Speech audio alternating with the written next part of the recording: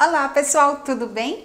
Eu prometi e eu vou cumprir. Hoje é dia de Flowers Cake. Vou ensinar você a fazer uma flor lindíssima com aquele creme de chocolate plástico que eu já ensinei na live, mas vou ensinar de novo no passo a passo, bem de pertinho para que você veja todos os pontos, porque na live ficou assim, é, não dava para ver bem de pertinho. Dessa vez você vai enxergar os pontos bem certinho e eu vou fazer a flor com você no passo a passo. E eu já vou mostrar aqui que coisa linda que eu tenho aqui. Olha isso, gente. What? ela, ela tá tão durinha que ela até solta daqui. Então vamos lá no passo a passo com você e eu vou fazer a rosa gigante, essa rosa vitoriana, tá bom? E depois eu vou dar mais dicas ainda. Vamos lá. Bom, nessa receita eu tenho aqui 120 ml de água e 24 gramas de gelatina, que eu vou hidratar a gelatina aqui.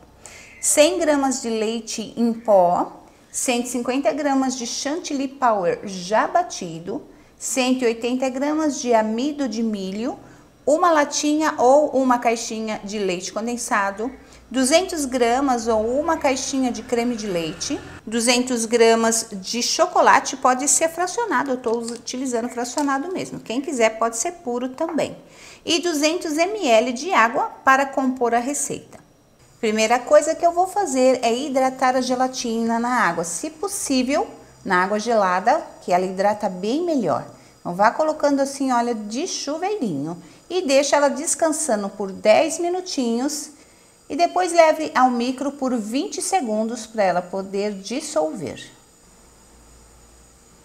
Aqui eu já derreti o chocolate, tá bom? Já está derretido. E agora eu vou fazer um ganache, acrescentando creme de leite nesse chocolate derretido. E aí é só mexer bem.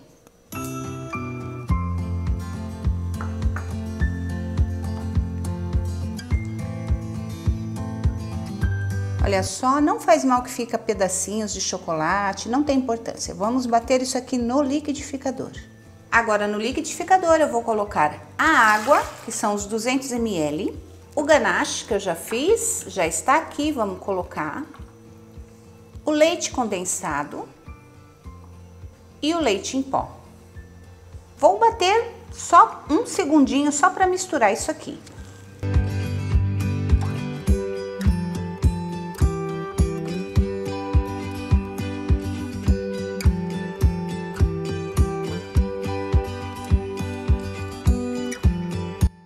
Mexe um pouquinho dos lados para poder tirar os pó que fica e bate mais um pouquinho.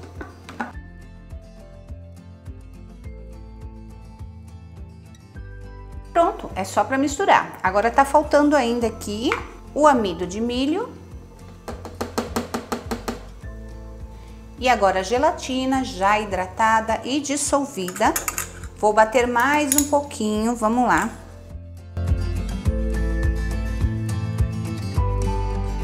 Para um pouco e mexe também nas laterais. Bater mais um pouco.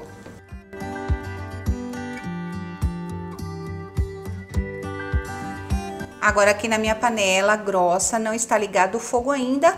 Já coloco todo o creme. Agora eu ligo o fogo. Vou começar com fogo baixo, tá, gente? Olha só. Então, assim, eu vou sempre limpando o meio e as laterais, meio e laterais. E um detalhe importante é que você trabalhe com espátulas retas para poder limpar bem o fundo. Então são segredinhos que é muito importante você saber. Então vamos lá em fogo baixo, cozinhando sempre. Precisa cozinhar isso daqui até endurecer. Já começou a endurecer embaixo, limpe sempre. É muito rápido, não faz nem um, um minuto que eu estou aqui ele já começa a pegar no fundo. Então, limpa bem fundo e laterais. Olha aqui, gente, ó, já tá começando a empelotar. Então, não faz mal. Ele vai ficar bem feio primeiro, depois a gente alisa. Mas continue mexendo sempre fogo baixo, sempre aqui, ó, lateral e centro, para não queimar. É muito importante isso. Então, olha só, quando perder todo esse líquido, eu vou mexer forte para ele alisar, tá bom? Ainda tem um pouquinho de líquido. Então raspa bem e agora sim.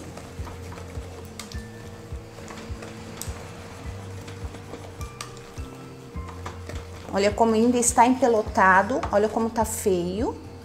Vamos aqui, ó. Vamos alisar ele agora. Mexe bem.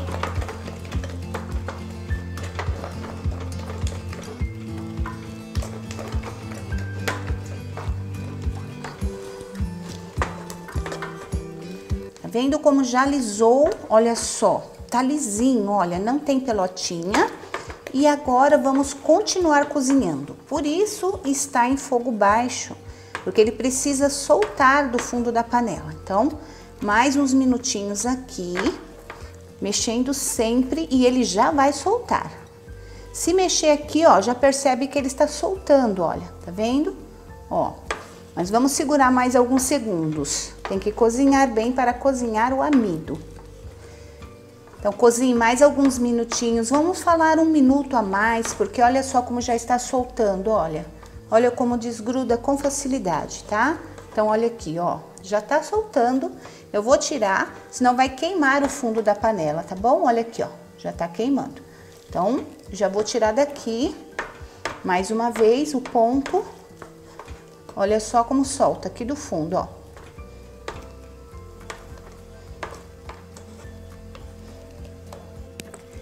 Vou trabalhar agora aqui com o batedor raquete, tá bom? E ele ainda está quente, meu creme. Está quentinho, vou colocar aqui dentro. Olha como cai perfeitamente, olha. Fica lisinho.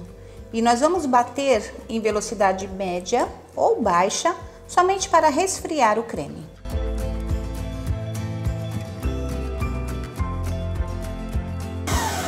Olha só, já tá morno, tá bom? Não tá totalmente frio. E eu vou colocar aqui agora, se quiser, pode deixar ele bem frio, tá? Deixe resfriar um pouquinho antes de colocar o chantilly. E agora vamos lá para o chantilly já batido, que é o meu chantilly power.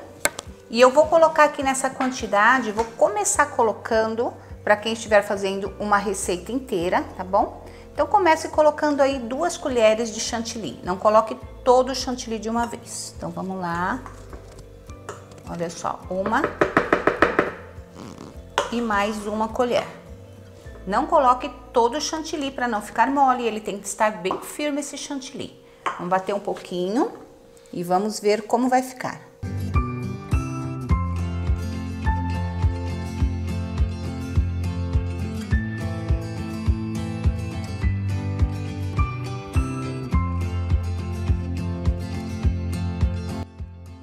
Deixa eu só mostrar aqui, olha, foi só alguns segundos, então ele está começando a misturar, tá? Mexe bem, mexe por todas as laterais e continue batendo até incorporar bem esse chantilly nesse creme.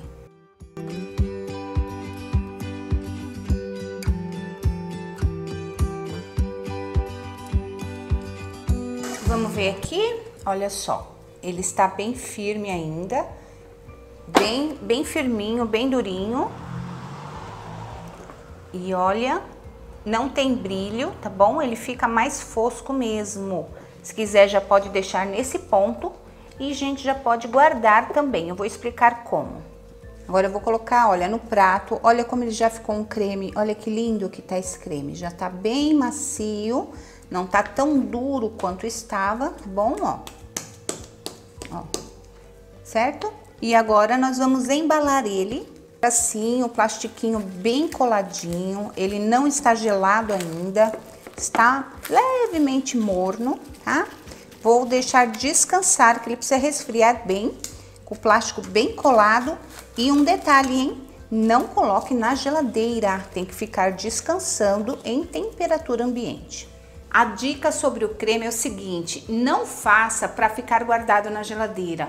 Vai fazer, vai bater na batedeira, deixe ele resfriar em temperatura ambiente e já utilize, tá bom?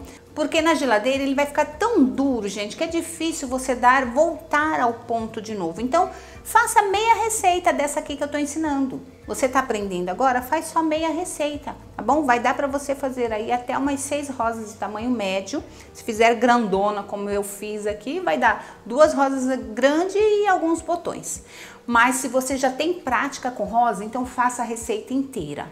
Tudo bem? Uma outra coisa que você precisa saber é que se o seu creme, mesmo aqui que você fez, ele resfriou em temperatura ambiente e ele ainda está um pouquinho duro, depois que você já começou a fazer sua rosa, você sentiu que ele está duro, volta na batedeira e coloque uma a duas colheres de chantilly sem bater e bata novamente com o batedor raquete. Ele vai ficar mais macio, mais suave. Só cuidado para você não colocar exageradamente aí o chantilly. Não precisa estar gelado, temperatura ambiente, dá super certo. Se você quiser, não precisa levar nem na batedeira. Mexe na mão mesmo, mexe ali ó, bem firme assim e ele volta. Vira um cremezinho firme e você continua fazendo os seus trabalhos. E além do creme e de fazer a rosa, eu vou mostrar para você aqui, vou falar sobre o bico, porque gente, o bico ele é adaptado.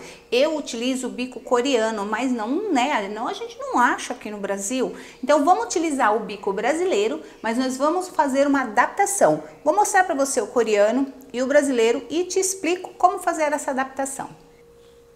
Agora eu vou falar para vocês, gente, sobre o bico. Dá uma olhada nisso. Esse bico e esses é a mesma numeração, 125. Porém, esse aqui é o bico coreano. Olha como ele é bem fechadinho, tá? Para sair menos glacê e a pétala ficar bem fininha. Esse bico brasileiro, que é o bico Wilton, olha como ele é muito aberto, tá bom? É muito diferente, por isso que as nossas rosas não dão tão certo assim.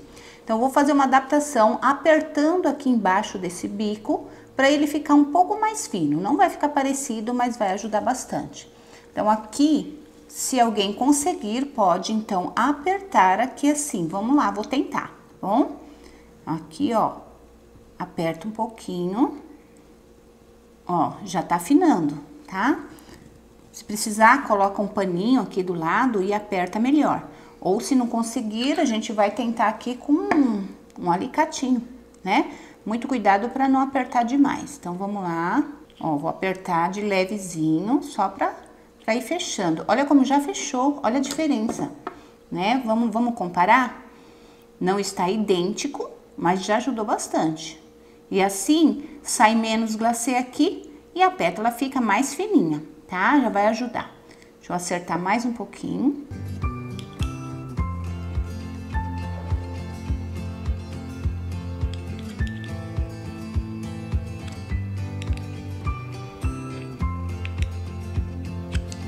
Olha a diferença que ficou agora, tá? Não chega tão perto desse aqui, mas vai ajudar muito. Então, faça isso com seu bico 125. E aqui você vai colocar, então, duas gotinhas de rosa, rosa cereja, gotinhas bem pequenas, porque aqui pega uma cor muito forte. E uma gotinha, que eu vou até colocar aqui na minha colherzinha para não cair demais, de marrom. Então, uma gotinha de marrom bem pouquinho. E agora, mexe bem.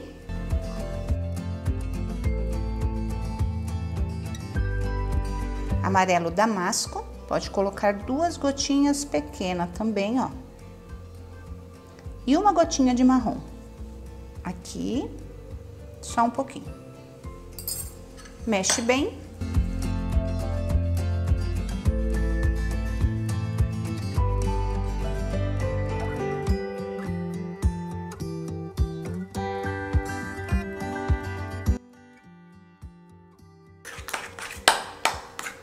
Olha só. Está prontinho também. Amarelo seco e rosa antigo. Vou cortar então a manga de confeitar. Primeiro eu coloco o bico aqui dentro. Olha só, vou trabalhar com o bico brasileiro mesmo, tá, gente? E aí, ó, faz um, uma marcação, tá?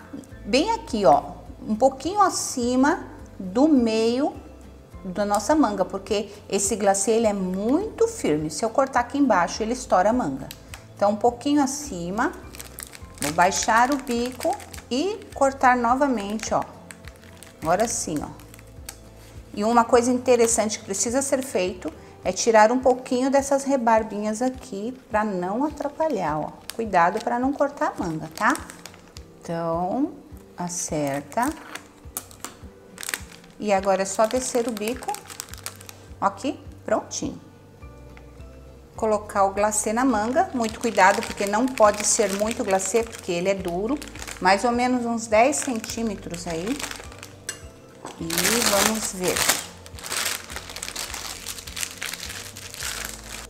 Olha a quantidade de glacê, gente, não coloca muito, senão dói o pulso, tá bom?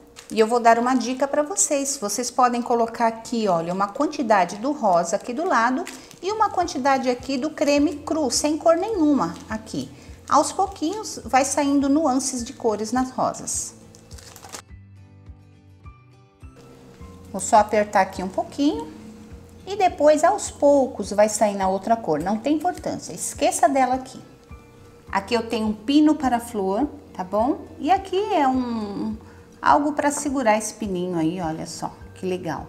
É para colocar, se você está terminando de fazer a rosa e precisa recarregar a manga, você coloca o pino aqui. Então vamos lá, começar com a base para quem está iniciando. Para fazer a base, eu vou colocar a parte grossa do meu bico virado para fora.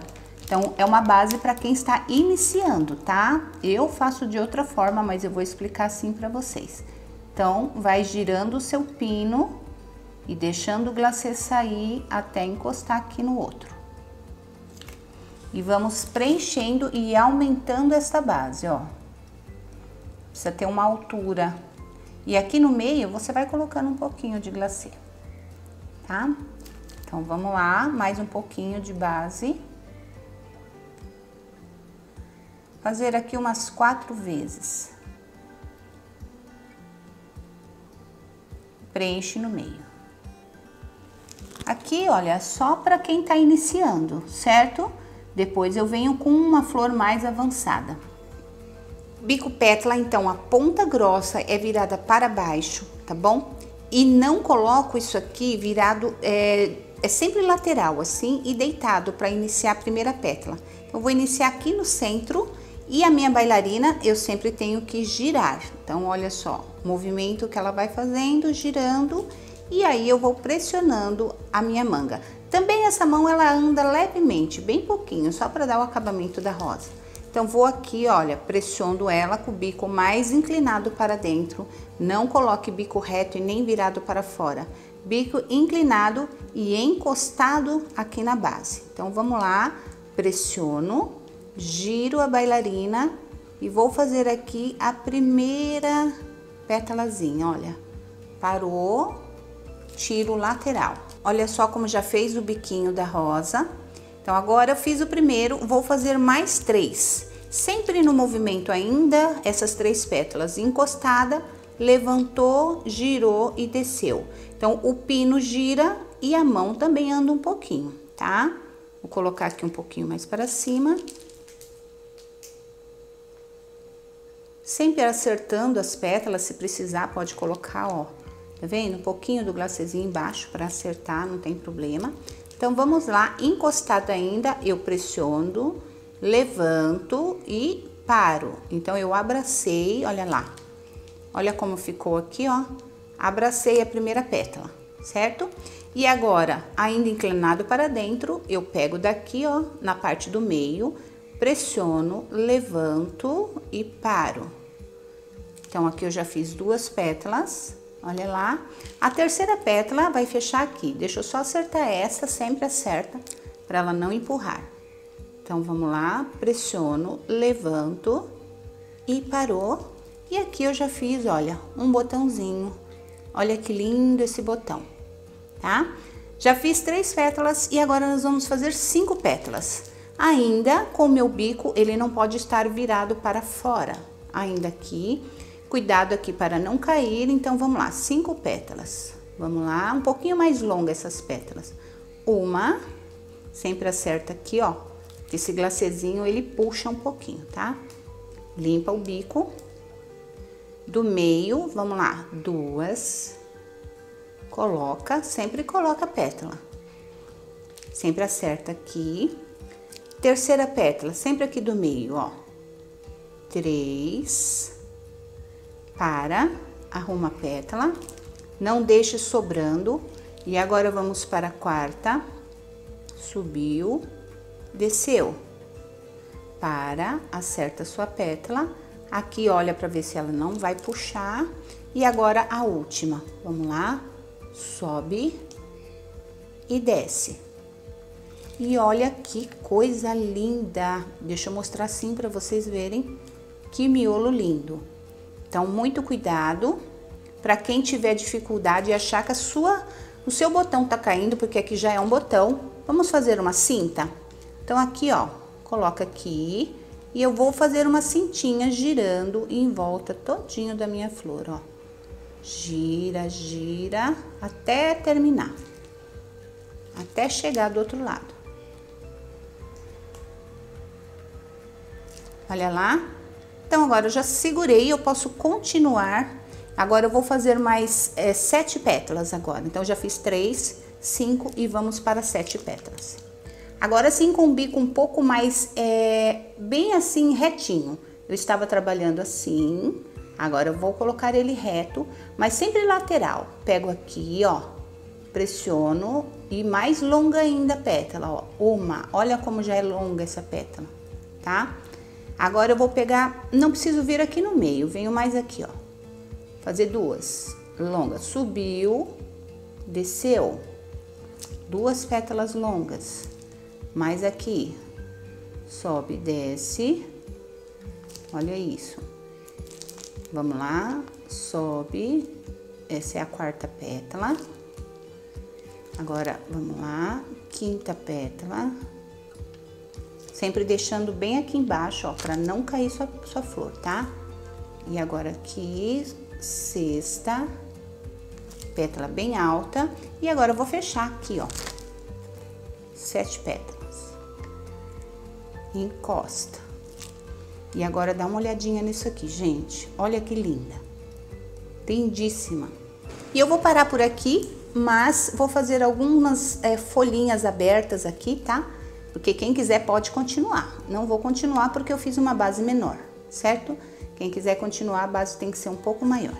Aqui na agora do bico virado para mim, bem pezinho, eu vou fazer aqui algumas pétalas abertas, olha. Uma, duas. Aqui você pode fazer quantas você quiser. Três. Não precisa nem contar, tá bom? Vai só fazendo aqui assim, ó. E vai colocando para abrir as suas flores, olha.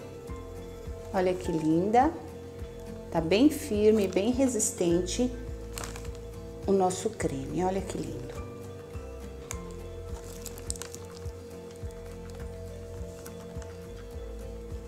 E pronto, gente. Vou mostrar aqui. Olha que linda essa rosa. Perfeita, maravilhosa, tá bom?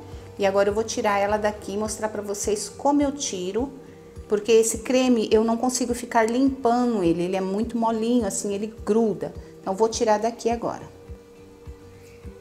Para tirar daqui, eu tenho aqui a minha tesourinha, então venho aqui embaixo, seguro, abre a tesoura, chega bem próximo aqui embaixo. Agora eu vou fechar levemente e girar, então, ó, gira a bailarina, tá? Olha aqui, já descolou. Olha como descolou. Agora, vamos colocar ela lá. E agora aqui, coloca, abre a sua tesoura, olha só, e puxa. Prontinho, gente. Olha que rosa linda, maravilhosa. Cada uma vai ficando assim, você vai treinando cada vez mais, né? E a sua flor vai ficando linda. Olha só, tem vários modelinhos, tá? E aí você pode deixar aí, ó, a sua imaginação florir, porque olha que coisa linda essa flor aqui.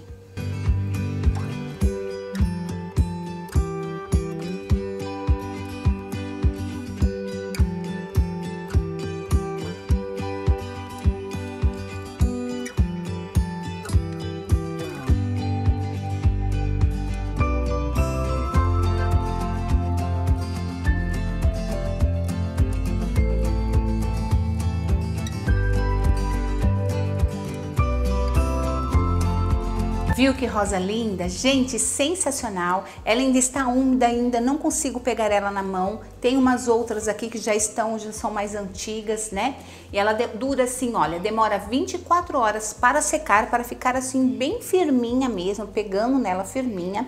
Ela tem a validade de dois dias fora da geladeira, senão ela vai azedar, tá bom? Na geladeira ela fica cinco dias. Você pode pegar aqui, ó, do jeito que tá aqui e leva, cobre, né, com filme plástico e deixa na geladeira aí por até cinco dias. Você quer utilizar? Tira e deixa em temperatura ambiente. Meia horinha ela volta a ficar flexível de novo e você consegue pegar, tá bom? Vou mostrar essa daqui bem de pertinho para você ver que ela é flexível. Essas outras eu já consigo pôr a mão também. Mas vem cá, dá uma olhadinha. Essa daqui, olha, já faz mais de dois dias que tá aqui, gente. Então, pra mim, essa daqui já não vou mais deixar aqui, tá bom? Mas dois dias, olha só, tá flexível, olha que legal, ó, molinha, tá? Então, dá pra ver que está flexível. Essa que eu acabei de fazer, eu só consigo colocar a mão aqui, ó. Não posso pegar, tá? Não, ó, não está úmida aqui em cima, ela já está secando. Mas no meio dela, por baixo, mas olha que legal, ó. Olha que legal.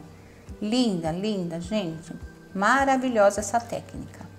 Espero que você tenha gostado da aula de hoje, porque eu achei incrível. E para você também, gente. O confeiteiro ou a confeiteira precisa aprender a fazer essas rosas. Quer aprender mais rosas? Então fica esperta aí, fica comigo nas lives de quinta, de domingo, principalmente de domingo, que eu vou falar mais sobre essas rosas lindas que você vai aprender no novo curso, no meu novo curso, né, que tá chegando aí, que é Bicos em Movimento, e eu vou ensinar essas rosas lindíssimas no passo a passo, tá bom?